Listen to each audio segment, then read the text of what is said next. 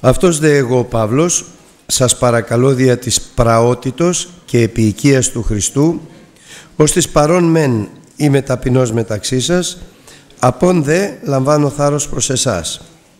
Σας παρακαλώ δε όταν έλθω να μην λάβω θάρρος με την πεποίθηση εκείνη με την οποία στοχάζομαι να τολμήσω εναντίον την όνη ή την εσθεωρούσιν ημάς ως κατασάρκα περιπατούντας διότι αν και περιπατώμεν εν σαρκή δεν πολεμόμεν όμως κατά σάρκα διότι τα όπλα του πολέμου ημών δεν είναι σαρκικά αλλά δυνατά συν Θεό προς καθαίρεση οχυρωμάτων.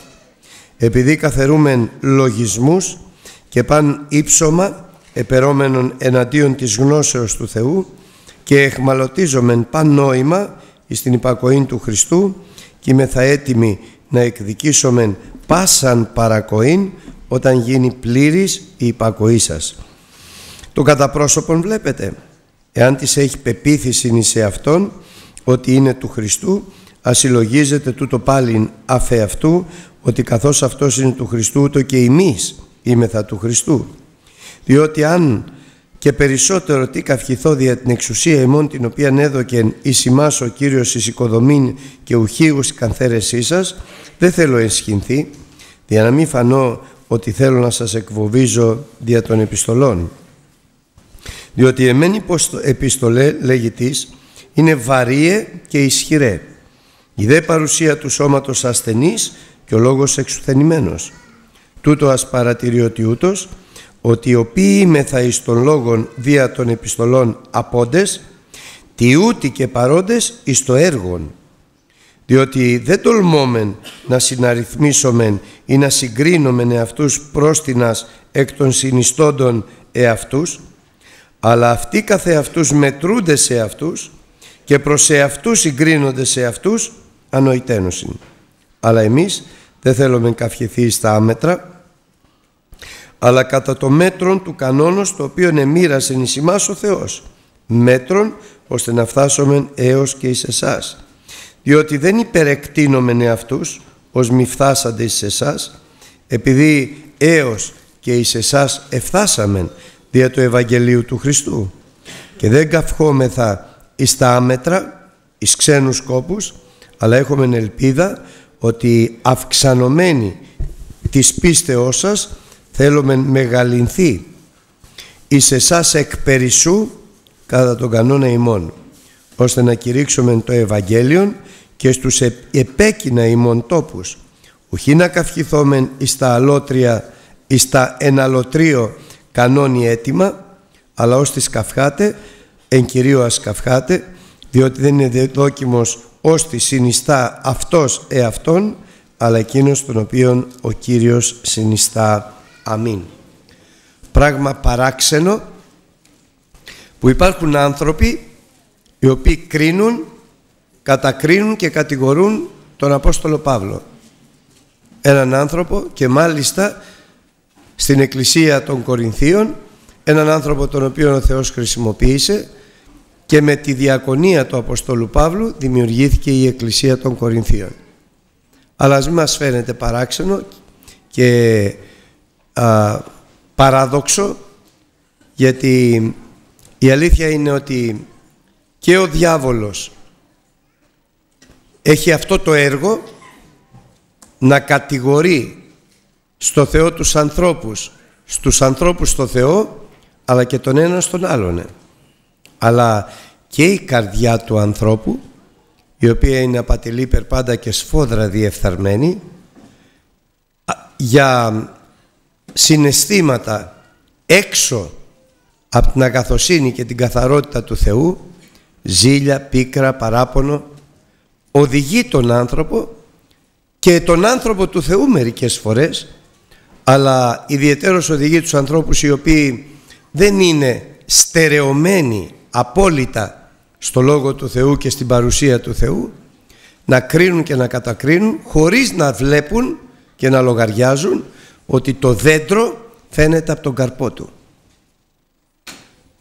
Και εδώ που τα λέμε ο καρπός του Αποστόλου Παύλου είναι μοναδικός είναι αυτός τον οποίο ο Θεός έδωσε εξουσία να κηρύξει το Ευαγγέλιο σε όλα τα έθνη. Και ο Απόστολος Παύλος τώρα πρέπει όχι να υπερασπιστεί τον εαυτό του αλλά να βοηθήσει την Εκκλησία των Κορινθίων να βοηθήσει τους αδελφούς τους τους Κορίνθιους να μην σκανδαλιστούν, να μην πιάσει η καρδιά τους κάτι από αυτά τα οποία άνθρωποι που όπως θα δούμε τους αποκαλεί στο τέλος ανόητους, άνθρωποι ανόητοι εκφράζονται ενάντια και εις βάρος του Αποστόλου Παύλου, τον άνθρωπο του ανθρώπου αυτού ο Θεός τόσο πολύ τον χρησιμοποίησε και τον ευλόγησε. Γι' αυτό απευθύνεται πια όχι ως Απόστολος αλλά απευθύνεται σαν αδελφός. Γι' αυτό το συγκεκριμένο σοβαρό πρόβλημα που υπάρχει στην Εκκλησία των Κορινθίων από τις κατηγορίες, τις κατακρίσεις και τους διάφορους ισχυρισμούς ανθρώπων αδόκιμων και είναι αδόκιμοι γιατί δεν τους συνιστά αυτούς ο Θεός αλλά αυτοί συνιστούν τον εαυτό τους. Εγώ λοιπόν ο Παύλος, όχι ο Απόστολος Παύλος πλέον, εγώ ο Παύλος σας παρακαλώ και σας παρακαλώ με την πραότητα και την επίοικια του Χριστού. Έρχομαι λοιπόν σαν αδελφός σας απλός, ίσως και τελευταίος από σας να σας μιλήσω για ένα τόσο σοβαρό θέμα της κατάκρισης και της κατηγόριας ανθρώπων εναντίον όχι εμού αλλά της διακονίας του Χριστού που ευδόκησε και χάρισε σε μένα. Γι' αυτό δεν έρχομαι σαν Απόστολος με διακονία να υπερασπιστώ τον εαυτό μου αλλά έρχομαι σαν αδελφός Παύλος να υπερασπιστώ τον Χριστό και τη διακονία και το έργο του. Γι' αυτό δεν έρχομαι με θυμό, δεν έρχομαι με παράπονο, δεν έρχομαι με γκρίνια, αλλά έρχομαι με την πραότητα και την επίοικια του Χριστού. Ομολογώντας ότι όταν είμαι παρόν ανάμεσά σας, είμαι ταπεινός. Δεν σηκώνω το ανάστημά μου, γιατί έτσι θέλει ο Θεός, έτσι θέλει ο Χριστός με την πραότητά Του και την επίοικιά Του. Αλλά όταν είμαι απόν, τότε λαμβάνω θάρρος προς εσάς, γιατί με την ταπείνωσή μου θα σας βοηθήσω, αλλά και με το θάρρος μου πάνω στο Λόγο του Θεού, πάλι θα σας βοηθήσω προς οικοδομή.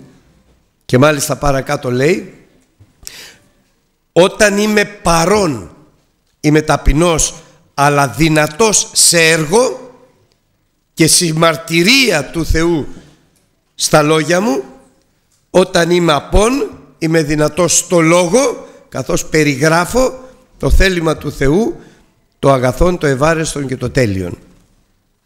Σας παρακαλώ λοιπόν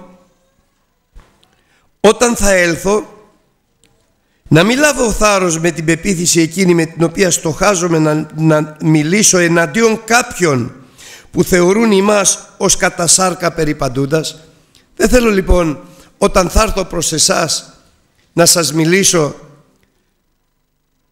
όπως θα μίλαγα σε αυτούς οι οποίοι θεωρούν ότι περπατώ ή περπατούμε εμείς κατά σάρκα αλλά θέλω όταν θα έρθω να σας μιλήσω με την πραότητα και την επίοικια του Χριστού σαν αδελφός προς αδελφό που όμως έχετε εκτιμήσει, έχετε καταλάβει, έχετε αναγνωρίσει το έργο που ο Θεός κάνει αλλά και τη συμπεριφορά μου ότι είναι σε καθαρότητα, σε αγιασμό, σε ειλικρίνεια, σε αλήθεια. Και βεβαιώνεται αυτό από τη συμμαρτυρία του Χριστού με τα έργα που κάνει ο Χριστός μέσα από μένα. Γιατί αν περπατούσαμε εν σαρκή,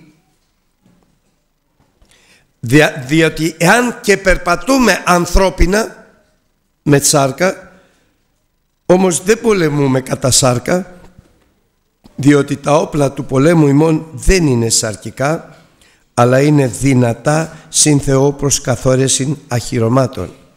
Αν και είμαι εν ζωή και περπατώ κατά σάρκα, εν σαρκή, όμως τα όπλα μου δεν είναι σαρκικά, αλλά είναι πνευματικά και είναι πνευματικά και δυνατά συν Θεό.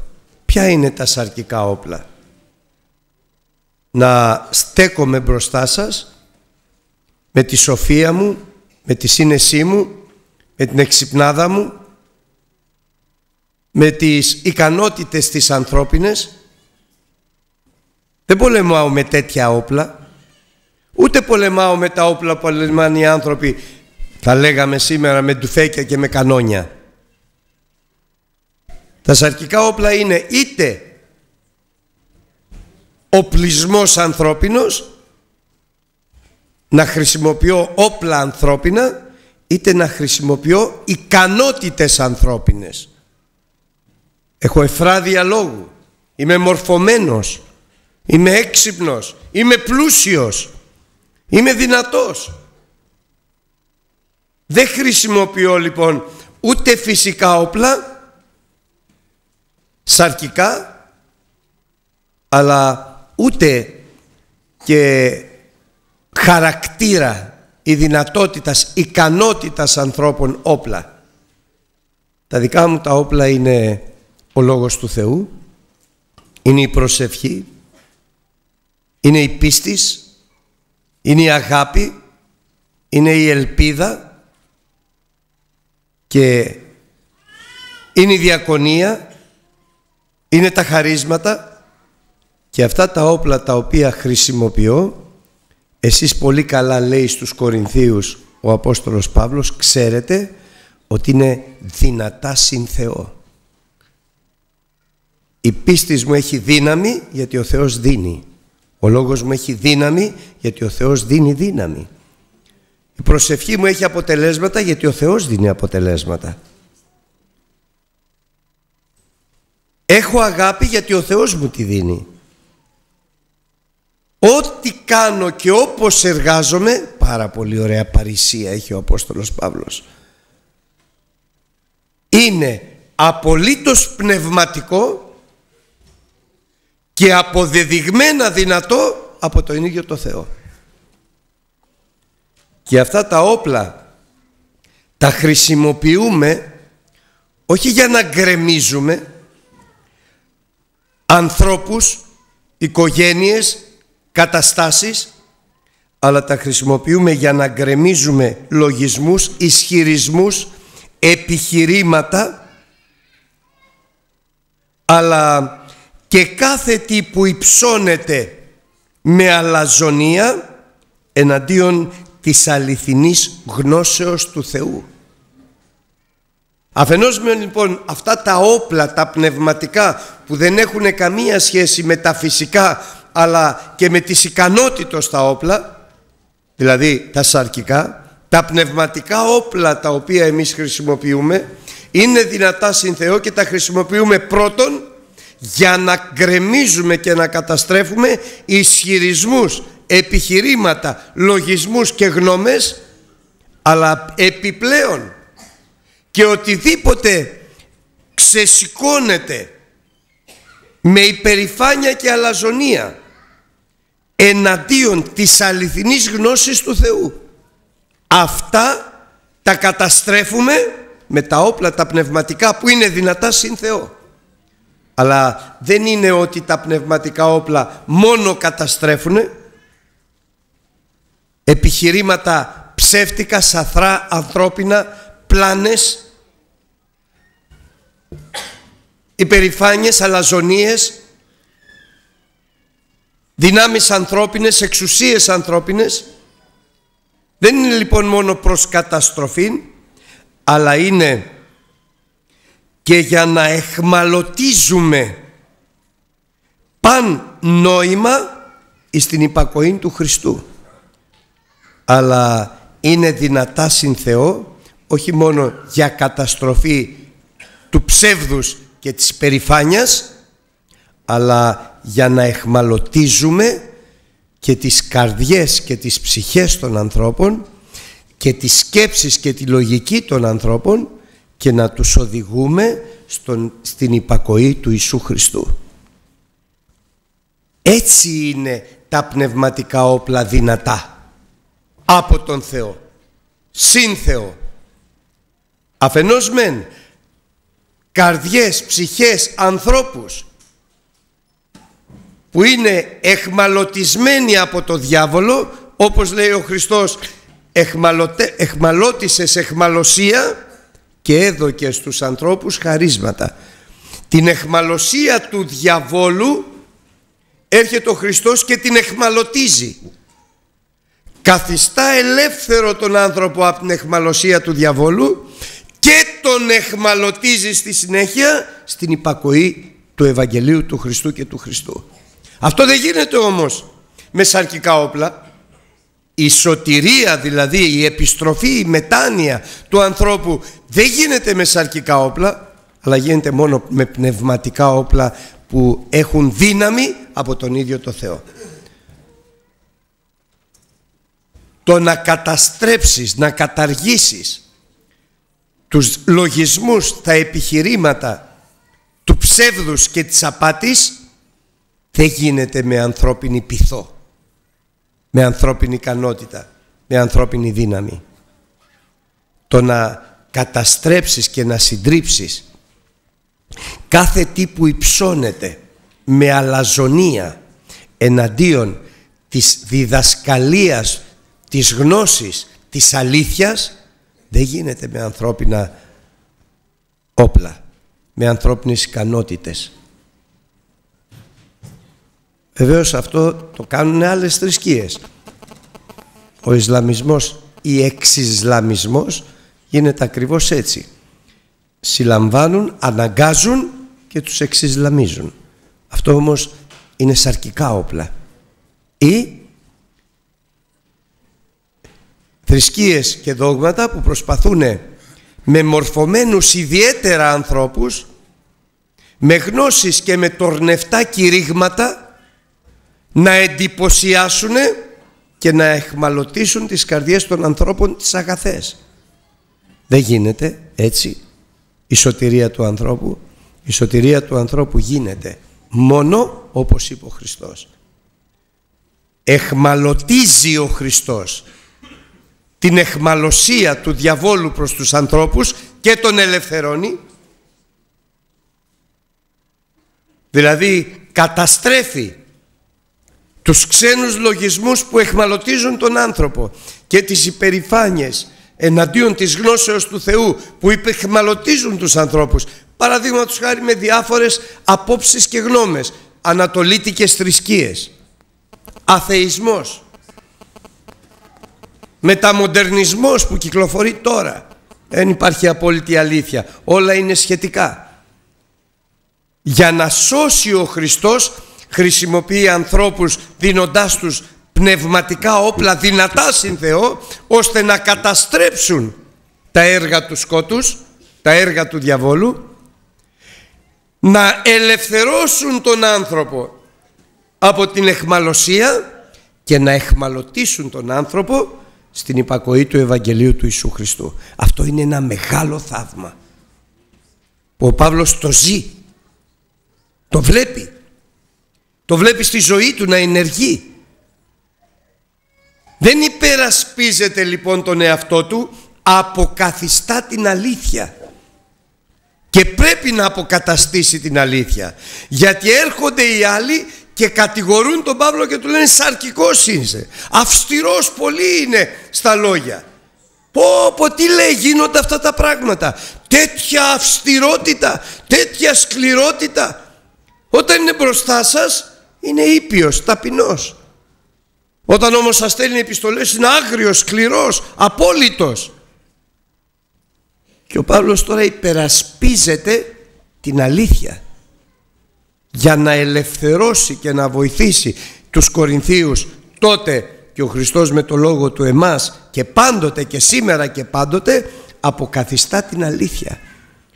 Δεν ελευθερώνεται ο άνθρωπος παρά μόνο με πνευματικά όπλα δυνατά συν Θεό και δεν εχμαλωτίζεται ο άνθρωπος στην υπακοή του Ευαγγελίου που οι άνθρωποι είπαν σκληρός είναι ο λόγος τούτος και ο Χριστός είπε αγωνίζεστε να εισέλθετε δια της στενής πύλης γιατί στενή είναι η πύλη και τεθλιμένη η οδός δεν εχμαλωτίζεται λοιπόν ο άνθρωπος ο ελευθερωμένος από τα δεσμά του διαβόλου δεν εχμαλωτίζεται στην υπακοή του Ευαγγελίου που είναι στενή η πύλη, τεθλιμένη η οδός παρά μόνο με όπλα πνευματικά δυνατά συν Θεό.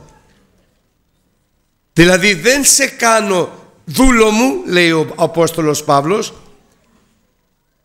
αλλά σε οδηγώ να γίνεις δούλος Χριστού. Υπάκουος στο Ευαγγέλιο του Χριστού. Και ολοκληρώνει το συλλογισμό του λέγοντας «Και είμαι θα έτοιμοι εμείς να εκδικήσουμε πάσαν παρακοήν από πουδήποτε και αν προέρχεται με την προϋπόθεση ότι η δική σας υπακοή θα είναι πλήρης. Εάν δηλαδή μέσα στην εκκλησία της Κορίνθου η υπακοή είναι πλήρης δηλαδή κατάφερε ο Θεός με όπλα πνευματικά δυνατά συν Θεό να καταστρέψει τα έργα του διαβόλου, να ε, καταστρέψει την εχμαλωσία του διαβόλου και να εχμαλωτήσει τον άνθρωπο, τους ανθρώπους με όπλα πνευματικά δυνατά συν Θεό στην υπακοή του Ευαγγελίου. Όταν η υπακοή σας γίνει πλήρης τότε εμείς είμαστε έτοιμοι να τιμωρήσουμε, να ελέγξουμε πάσαν παρακοήν κάθε ψέμα και κάθε παράβαση. Αληθινά λόγια που αν δεν ήταν λόγια Πνεύματος Αγίου θα ήταν αδύνατον και να γίνουν αντιληπτά αλλά και να γίνουν πραγματικότητα στη ζωή του ανθρώπου. Και μην ξεχνάμε αδελφοί ότι κάθε ένας από μας είναι εν μέρη ποιμένας. Εγώ είμαι ποιμένας στην οικογένειά μου. Αλλά και η γυναίκα είναι και έχει ευθύνη οικοφύλακα, δηλαδή την επιμέλεια σαν πρεσβύτερος μέσα στο σπίτι της. Δεν μπορείς να τιμωρήσεις την παρακοή από πουδήποτε και να είναι εάν δεν συνεργεί ο Θεός στα πνευματικά σου όπλα να καταστρέφει τα έργα του διαβόλου και να εχμαλωτίζει στην υπακοή του Ευαγγελίου. Δηλαδή να γίνουμε όλοι ομόφρονες, να έχουμε το ίδιο φρόνημα, την ίδια γνώμη και αν είναι δυνατόν και ισόψυχοι ώστε να μπορούμε γνησίως να επιμελούμεθα τα πράγματα του Θεού. Και αυτό συμβαίνει μόνο όταν δεν ζητάμε τα δικά μας ποτέ στη ζωή μας αλλά πάντοτε στη ζωή μας ζητάμε τα του Ιησού Χριστού. Και προχωράει με μεγαλύτερη ανάλυση Βλέπετε κατά πρόσωπο, επιφανειακά βλέπετε τα πράγματα. Γιατί βλέπετε επιφανειακά τα πράγματα; Όταν έρχονται σε εσάς και κατηγορούν όχι εμένα τον αδελφό τον Παύλο που δεν με νοιάζει αλλά τη διακονία του Χριστού. Το έργο του Χριστού. Το αποτέλεσμα του Χριστού. Τη δόξα του Χριστού. Γιατί Εάν αυτοί έχουν την πεποίθηση μέσα τους ότι είναι του Χριστού και κάθε ένας που έχει την πεποίθηση μέσα του ότι είναι του Χριστού πρέπει να συλλογίζεται πάλι μέσα του ότι καθώς αυτός είναι του Χριστού και οι άλλοι είναι του Χριστού. Δεν έχετε αποκλειστικότητα. Θυμηθείτε αδερφοί τι έλεγαν στο, στις Κορινθίους. Εγώ είμαι του Κυφά, εγώ είμαι του Απολό και άλλοι έλεγαν εγώ είμαι του Χριστού. Αποκλειστικότητα. Εγώ είμαι του Χριστού, εσείς δεν είσαστε. Μόνο εγώ είμαι του Χριστού. Τραγικό λάθος. Είσαι του Χριστού και ο άλλος είναι του Χριστού. Δεν είσαι μόνο εσύ. Ώστε να μπορείς τον άλλον να τον υποβαθμίζεις, να τον εξουθενείς, να τον κατακρίνεις και, να τον, και τον κατηγορείς τη στιγμή που βλέπεις το έργο του Θεού στη ζωή του. Τη δόξα του Θεού στη ζωή του. Τη στιγμή που βλέπεις ότι τον αναγέννησε ο Θεός. Τον βάφτισε ο Θεός με πνεύμα Άγιο. Τον αγίασε ο Θεός. Ακόμη και τον χρησιμοποιεί ο Θεός. Δεν είσαι μόνος του Χριστού ή περισσότερο από τους άλλους του Χριστού. Είσαι και εσύ αλλά είναι και οι άλλοι του Χριστού. Και επαναλαμβάνω, μιλάει ο Παύλος ο αδελφός με τη μακροθυμία και την επίοικια και την πραότητα του Χριστού. Διότι αν και εγώ περισσότερον μπορώ να καυχηθώ για την εξουσία που έχω και την οποία ο Θεός έδωκε εις εμένα εις οικοδομήν και όχι εις καθαίρεσή σας δεν θα εσχυνθώ. Εάν δηλαδή έρθω σε αυτή την θέση τη δύσκολη που δεν μ' αρέσει καθόλου.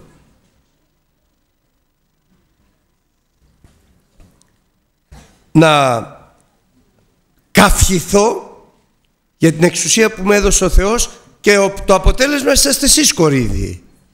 Δεν θα τραπώ καθόλου. Για την αλήθεια. Δεν καφιέμαι στα ψέματα. Καφιέμαι στην αλήθεια. Καφιέμαι στο αποτέλεσμα του Χριστού.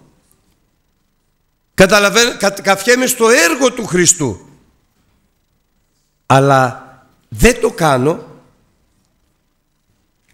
γιατί δεν θέλω με τις επιστολές μου να σας δημιουργώ φόβο, να σας φοβίζω.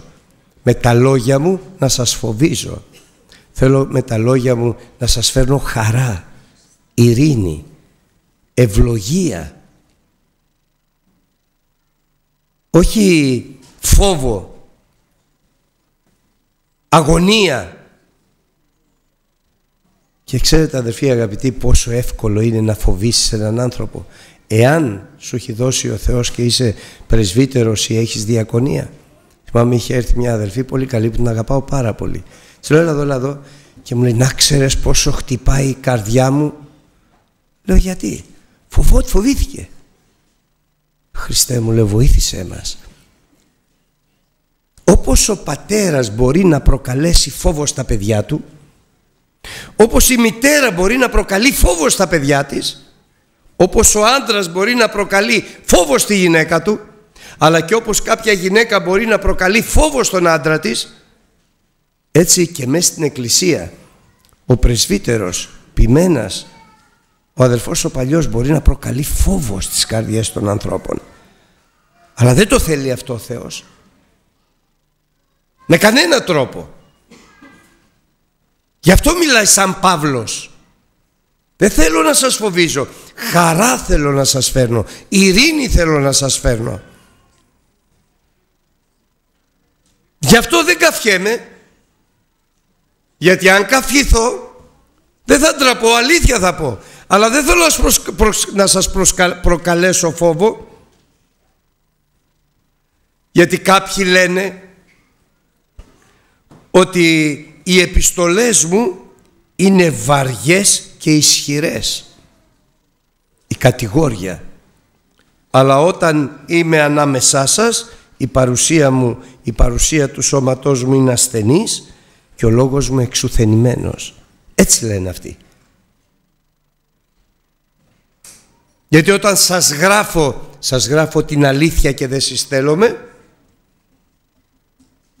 και όταν είμαι δίπλα σας ή όταν σας κηρύττω θα λέγαμε εμείς σας κηρύττω την αλήθεια και δεν συστέλομαι αλλά όταν είμαι ανάμεσά σας λέει ο Απόστολος Παύλος κάνε μας έτσι Θεέ μου είμαι ταπεινός και όχι μόνο δεν σας φοβίζω αλλά αντιθέτως μάλιστα είμαι χαμηλότερος και μικρότερος από σας Όμως αυτά λένε αυτοί. Ποια είναι η αλήθεια; Η αλήθεια είναι τούτο ας παρατηρεί αυτός που λέει τέτοια άσκημα πράγματα. Όποιος είμαι στο λόγο δια των επιστολών όταν είμαι απόν, τέτοιος είμαι στο έργο όταν είμαι παρόν. Άλλο δηλαδή η συμπεριφορά μου που είναι ταπεινή, απλή, γλυκιά και τρυφερή και άλλο το έργο που κάνει ο Θεός. Ναι, στο κήρυγμα, στις επιστολές είμαι αυστηρός. Λέω όλη την αλήθεια. Πρέπει να λέω όλη την αλήθεια. Αλλά στην κοινωνία πρέπει να είμαι ταπεινός. Και είμαι λέει ο Απόστολος Παύλος ταπεινός. Αλλά εκεί εργάζεται ο Θεός και μου δίνει έργο το οποίο είναι εμφανές σε όλους τους ανθρώπους που είναι έργο σωτηρίας, έργο μετάνοιας, έργο οικοδομής, έργο στήριξης, έργο όμως.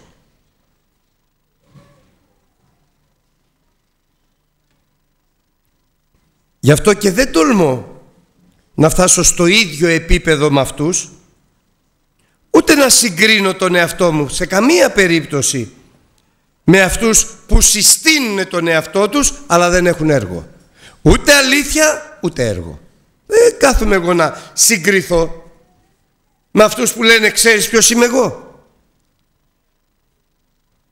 Εγώ θέλω να βλέπω ανθρώπους που να λέω Κύριε σε ευχαριστώ που τον ευλογείς.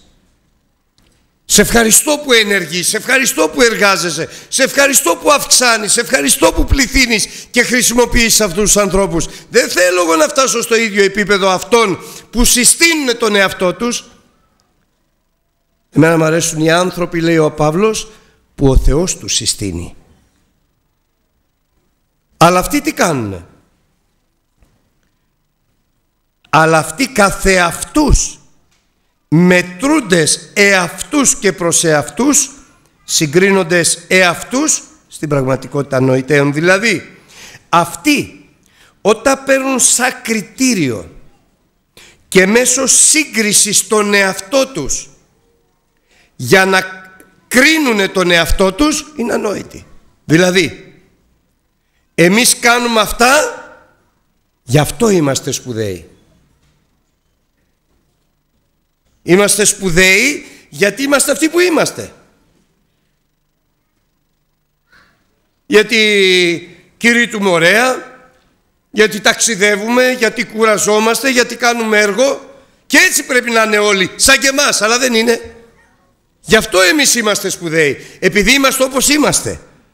Και εσείς γι' αυτό είσαστε χάλια, γιατί δεν είσαστε όπως είμαστε. Όταν λοιπόν έχουν σαν κριτήριο τον εαυτό τους για να κρίνουν τον εαυτό τους και τους άλλους, αυτοί είναι ανόητοι. Κλικ κλικ. Κάτι δεν πάει καλά σε αυτούς. Δεν βάζουν τον εαυτό τους κριτήριο για το μεγαλείο, για την ικανότητα, για τη σοφία, για τον αγιασμό, για τη σύνεση. Κριτήριο βάζουν τον Χριστό και τους άλλους που δεν συστήνουν τον εαυτό τους όπως αυτοί αλλά που ο Θεός τους συστήνει. Τι είπε ο Παύλος, θα πάω στους επισημωτέρους. Ποιοι είναι οι επισημότεροι; Εγώ δεν είμαι ελάχιστος των Αποστόλων. Δεν είμαι άξιος να ονομάζομαι Απόστολος. Δεν είναι οι Απόστολοι όσοι μου μοιάζουνε. Αν θέλεις να είσαι καλός Απόστολος θα είσαι σαν και εμένα. Αν θέλεις να είσαι καλός ποιμένας θα κάνεις αυτά που κάνω εγώ. Όχι. Δεν βλέπει τον εαυτό του μέτρο κρίσης και σύγκρισης αλλά βλέπει τον Πέτρο, τον Ιάκωβο, τους άλλους που είναι φανερή η παρουσία και η δόξα του Θεού σε αυτούς συστημένοι από το Θεό, από το έργο τους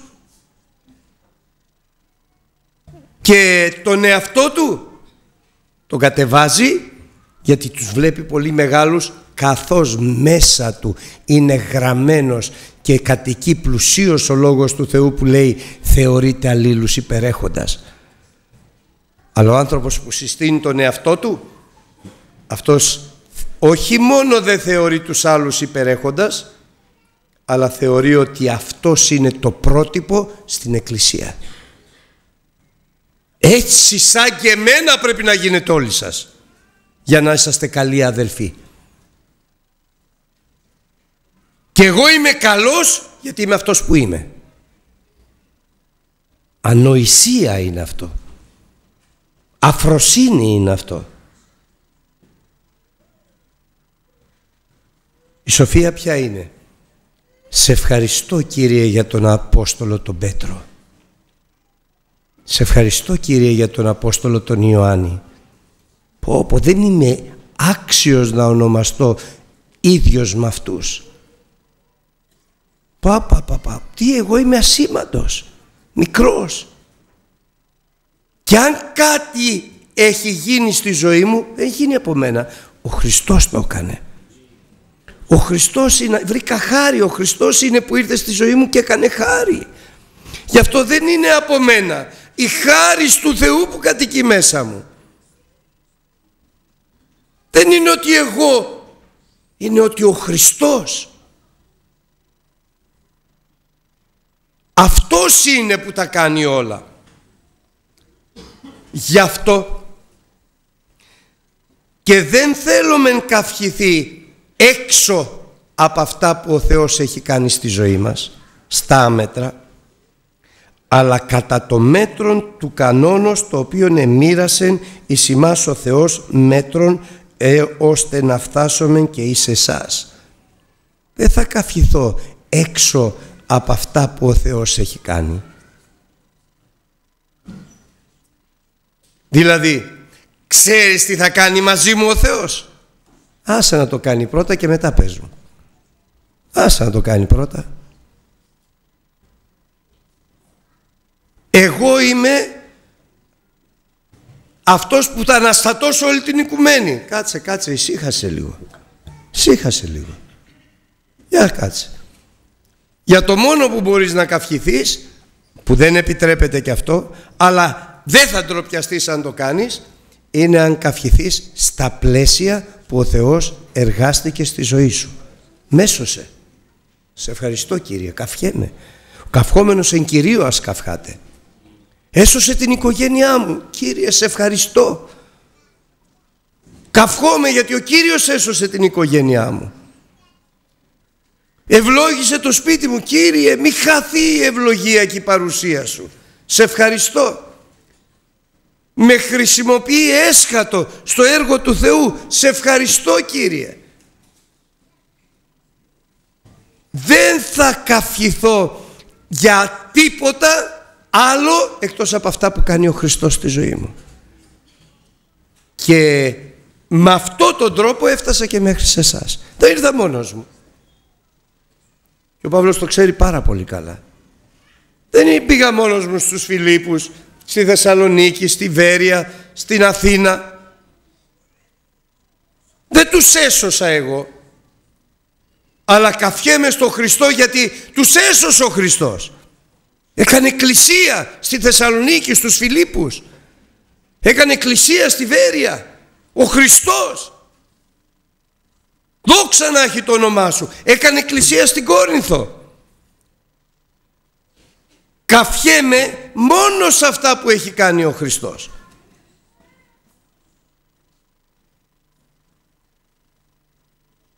Γι' αυτό και δεν υπερεκτείνομεν τους εαυτούς μας ως μη φτάσαντες σε εσάς. Το ότι δηλαδή καφιέμαι για σας δεν είναι έξω από τα όρια που ο Θεός έχει βάλει. Ο Θεός με έφερε και σε εσάς. Δεν υπερεκτείνω τον εαυτό μου, δεν τον μεγαλοποιώ. Είδες έφτασα σε εσάς. Όχι. Καφιέμαι εν Χριστώ γιατί ήρθα σε εσάς και έκανε εκκλησία ο Χριστός στην Κόρινθο. Επειδή έως και εις εσάς φτάσαμε, όχι με τα πόδια, ούτε με την ικανότητα, ούτε με τη δύναμή μας, δια του Ευαγγελίου του Χριστού που είναι η δύναμη του Θεού που σώζει μόνο τους πιστεύοντας. Αν φτάσαμε, δεν φτάσαμε γιατί είμαστε μεγάλοι Απόστολοι. Δεν σώσαμε εμείς. Αλλά φτάσαμε δια του Ευαγγελίου του Χριστού που είναι η δύναμη του Θεού και σώζει. Ποιους, αυτούς που θα το πιστέψουνε. Ώστε δεν καυχόμεθα πέρα από τα όρια που ο Θεός έχει βάλει στη ζωή μας. Πέρα από αυτά που έχει κάνει ο Θεός στη ζωή μας. Πέρα από αυτά που κάνει ο Θεός στη ζωή μας. Δεν καυχόμεθα ακόμη και σε ξένους κόπους. Είδες, πήγα και στη Λάρισα. Αλλά άλλος είχε πάει πριν από σένα. Και έγινε η εκκλησία. Δεν καυχόμεθα στα άμετρα, σε ξένους σκόπους, αλλά καυχόμεθα μέσα στα όρια και στα πλαίσια που ο Θεός μας χρησιμοποίησε και έχουμε μια μεγάλη ελπίδα ότι καθώς θα αυξάνεται η πίστη η δική σας Κορίνθη και εμείς θα αυξανόμεθα εκ περισσού καθώς δηλαδή εσείς θα ευλογήσετε και εμείς θα σας καμαρώνουμε και θα αυξανόμεθα καθώς θα βλέπουμε τη χάρη του Χριστού σε εσάς. Δεν έχουμε εξουσία επάνω σας και ο άνθρωπος του Θεού δεν έχει σε κανέναν εξουσία επάνω. Μόνο στον εαυτό του, άντε το πολύ πολύ στη γυναίκα του και όταν είναι μικρά τα παιδιά του και στα παιδιά του μέχρι εκεί. Αυτή είναι η εξουσία που έχουμε.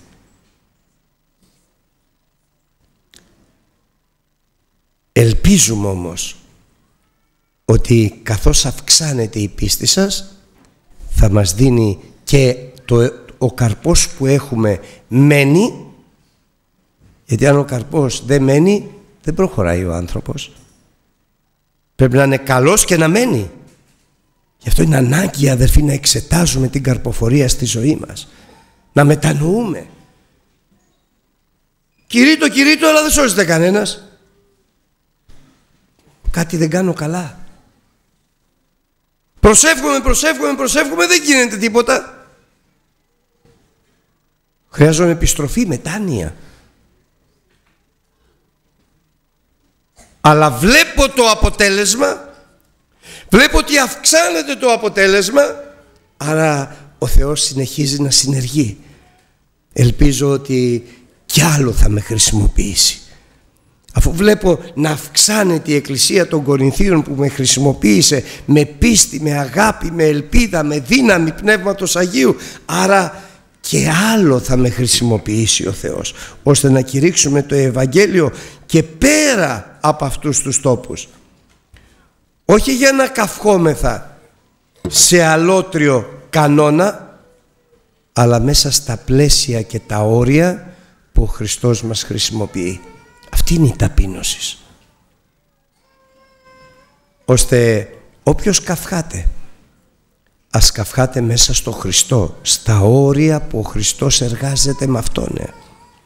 Γιατί δεν είναι δόκιμος αυτός που συνιστά τον εαυτό του. Είδες ποιος είμαι; Δεν είναι δόκιμος αυτός. Δεν είναι βάρεστος εις τον Θεόν αυτός αλλά δόκιμος είναι αυτός τον οποίο ο Θεός συνιστά και στους ουρανούς και στη γη και στην εκκλησία και ανάμεσα στους ανθρώπους. Αλλά για να συστήσει ο Θεός κάποιον πρέπει να έχει αυτά τα ωραία χαρακτηριστικά. Ταπεινός ανάμεσα στους ανθρώπους, αυστηρός με το Λόγο του Θεού. Και όταν λέω αυστηρός, όχι υπέρ του ότι είναι γεγραμμένον, αλλά απολύτως και κατά πάντα όσα είναι γεγραμμένα. Και για τον Παύλο τότε ήταν αυτός που έγραφε το Λόγο του Θεού, δηλαδή ο Θεός με Αυτόν, και γι' αυτό τον έλεγαν αυστηρό, σκληρό, ενώ όταν είναι ανάμεσά μας είναι φοβιτσιάρης. Δεν ήταν φοβιτσιάρης, ήταν ταπεινός φρόνιμος, απλός. Γι' αυτό όμως και συμμαρτυρούσε ο Χριστός, ώστε με τα λόγια να εκφράζω το θέλημα του Θεού και με την ζωή μου να αποκαλύπτεται η δόξα του Θεού μέσα από το δικό του έργο. Αμήν. Κάνε μας Χριστέ μου, σε παρακαλώ πάρα πολύ.